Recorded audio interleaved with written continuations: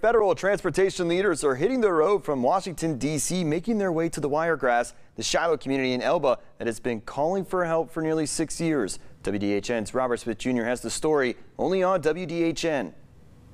Yes, federal help is on its way, and, and so we're grateful. The ongoing flooding issue in the historically black Shiloh community has gained national attention over the last six months. Four weeks ago, Shiloh residents took a trip to the Capitol with the father of environmental justice, Robert Bullard, to visit the U.S. Department of Transportation, sharing their devastating testimonies with federal leaders. Now, the top federal transportation leader, Pete Buttigieg, and his team are visiting next week to see for themselves. This is fact. You know, they're coming. And so uh, we're excited, you know what I'm saying? But at the same time, we just don't want just a show up, but we need we need help. We need this stuff to be fixed. You know, it's been six years that we've been going through what we're going through, and we're not we're not trying to uh, create a show or anything. Shiloh residents claim they have been living out a nightmare since 2018 when Highway 84 was expanded by the state.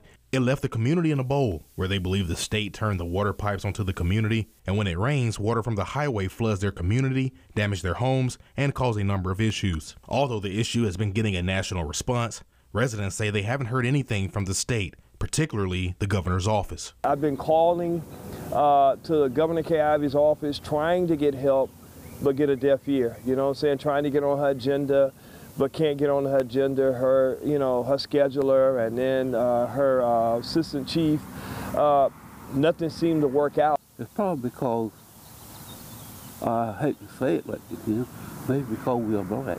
She represents our state, and, and she's not willing to participate in, in order to try to help us.